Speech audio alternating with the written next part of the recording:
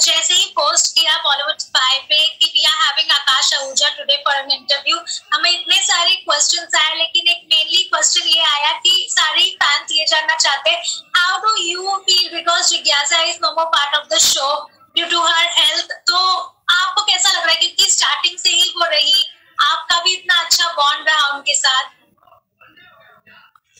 तो स्टार्टिंग से रही वो तो स्टोरी बट यहाँ पे वी ऑल लॉट बिकॉज़ हमारी एक अंडरस्टैंडिंग हो गई थी एज को actors and we we have become really good friends as well तो everybody misses her on set we all miss her energy तो she used to light up the mood for everyone but I think अपनी हेल्थ का ध्यान रखना is very important and she set a good example कि uh, काम तो ज़रूरी है but your health comes first ji.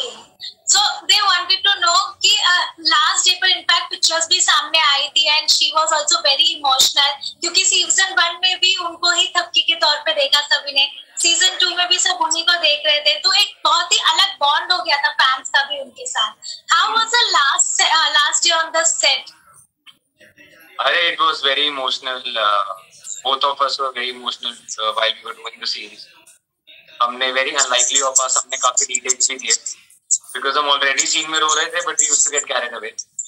But that's a part of life and uh, I think uh, जो भी होगा अच्छे के लिए होगा और जो होता है अच्छे के लिए होता है. You think that fans को expect करना चाहिए कि उनका comeback हो सकता है show में?